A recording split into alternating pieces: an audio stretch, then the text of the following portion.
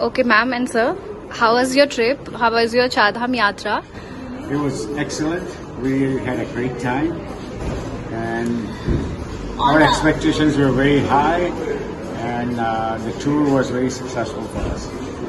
And all the arrangements were very, very good. All the coordinators they had were Yeah. very good, They have knowledge. especially Nitesh in Badri, Badrinath did an excellent job for all of us.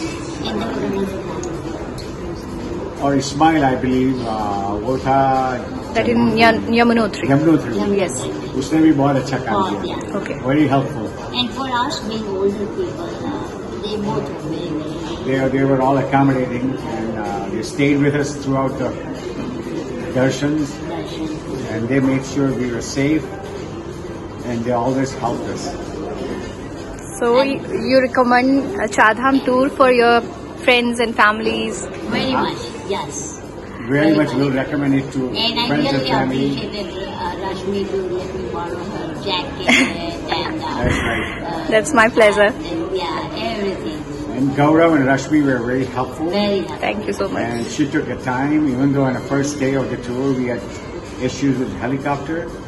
She came personally, checked the heli- helipad, and then visited with us at the hotel to assure us that we were still going to fly.